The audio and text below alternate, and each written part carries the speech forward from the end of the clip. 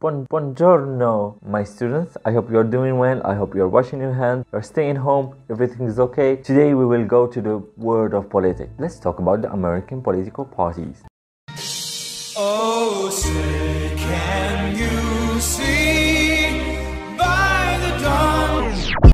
If the US is a train, then the political parties are the engine that keeps this train moving forward. The USA has two major political parties, which is the Republican and the Democrat. They are constantly in fight with each other and with small political parties to gain seats in the House of Representatives and also in the Senate. Senate, Senate, Senate. In this section of this video, we will talk about the political parties, the two major ones, and other political parties. Let's begin with the major one, the two major one, the Republican. Now, the Republicans, it is also called the right or conservative. This party was founded in 1854 and they believe in individual responsibilities, strong family, capitalism, le laissez-faire, and low taxes on everyone and everything. Many presidents were Republicans like Abraham Lincoln, George Bush, and the current one, Donald Trump. The second one is the Democratic Party. The Democrats, also called the left or the progressive. This party was founded in 1828. They believe in taxing the rich people, in the restriction of weapons. Also, they believe in spending money on education and universal healthcare. Many presidents were Democrats like JF Kennedy, Bill Clinton, and Barack Obama. Obama. The Libertarian Party. This party was founded in 1971.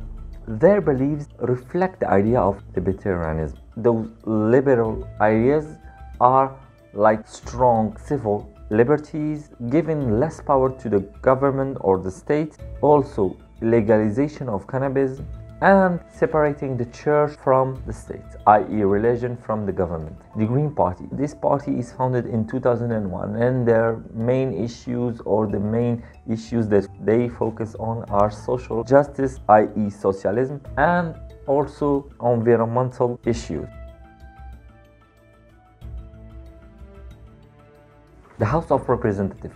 It is one part of the Congress. Side note, the Congress, it is the legislature of the US government. In simple terms, it makes the federal laws and rules of the US government. Let's go back to the House of Representatives. Now, all the bills about raising revenue, taxes, etc., all must start from the House of Representatives. And this house has the power to impeach certain official, for example, the US president. Now, it have currently 435 seats. The Senate, the other part of the Congress. It's a small group of 100 people who decides the law of each state. Now, every state need to elect two people to represent them in the Senate, and those people are called senators.